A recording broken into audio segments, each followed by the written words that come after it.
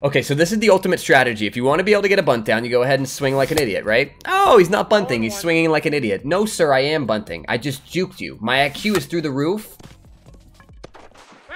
Okay, so now you go ahead. Now you go ahead and take a pitch. Now you go ahead and take a pitch. Some stuff happens like that. You take one. And he says, no way. A guy's laying one down with two strikes. Sorry, abs... Go back. Go back. Go, go, go back. Go.